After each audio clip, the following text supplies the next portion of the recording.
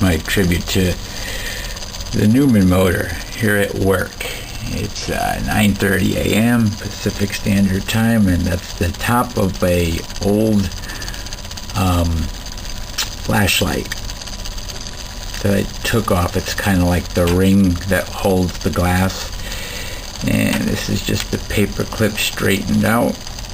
One of those paper clips with the rubber on it, stripped off. Obviously, more paper clips a 9 volt battery and yes I do carry alligator clips with me to work. And a couple of magnets.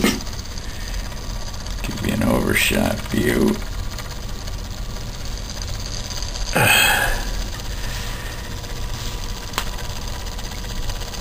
And there's it's not much wire wrapped around there to produce quite a bit of a spin kind of surprised I guess it really doesn't take much to produce a magnetic field contrary to the one that wants the magnets to push against.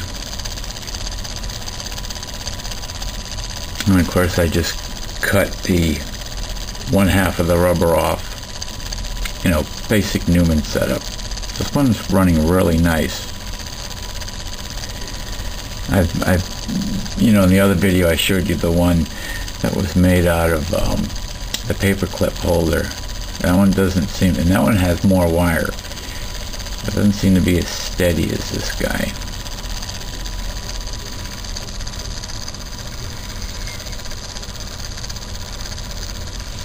I have no idea if the wires are getting hot. No? Oh. Jinxed it. Alright, there it is.